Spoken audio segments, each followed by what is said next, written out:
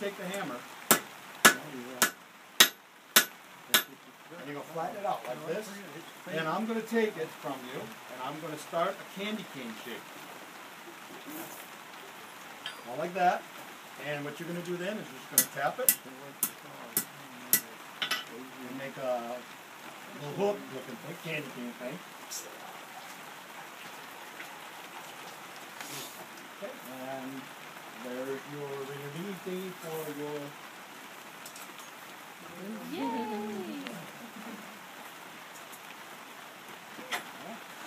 first person, number one.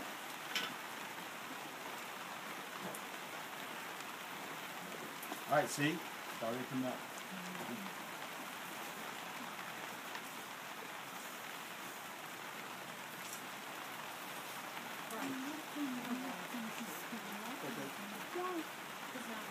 All right. Hammer flat the thing. Stand right in front of the anvil. Two hands, hammer down. Hit it.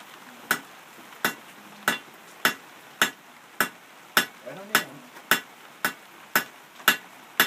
All right, good. All right.